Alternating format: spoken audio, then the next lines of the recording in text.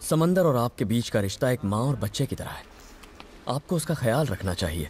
मानता हूँ आप ज़्यादा से ज़्यादा मछलियाँ पकड़ना चाहते हैं, लेकिन ज़्यादा मछलियाँ पकड़ना भी हानिकारक हो सकता है। पर्यावरण की भलाई इसी में है कि आप ज़रूरत के हिसाब से मछलियाँ पकड़ें।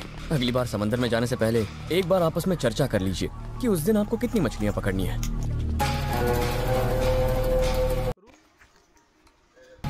कल मछलियाँ पकड़ने आपके साथ मैं भी चलूँगा, तभी बात कर लेंगे। क्या हुआ? गले में खराश है? पार्क को लेके। तेरे ऊपर मेरे भाई का दिमाग बहुत सटका हुआ है। तेरे भाई की सटके तेरी सटके या किसी और की मुझे कोई परवाह नहीं। सोच अगर कुदरत की सटकी तो क्या होगा? तुझे आइडिया नहीं है भाई को गुस्सा आया तो तेरे साथ क्या होगा। तेरे टुकड़े टुकड़े करके समंदर में फेंक देंगे। अब कैसे समझाऊं तुझे? मेरे भाई आकाश वायु धरती ये समंदर इनके गुस्से के आगे कोई नहीं टिक सकता। भाई का गुस्सा हम तेरे को दिखाएँगे। तू बता कुदरत क्या करेगी? हो जाए मुकाबला?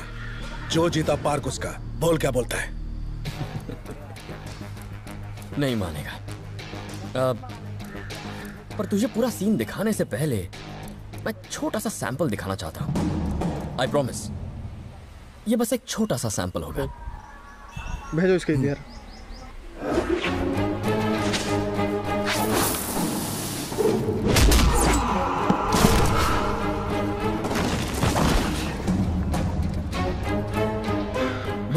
चलो इसको देखो तुम उसको देखो। भेजो इसके इधर।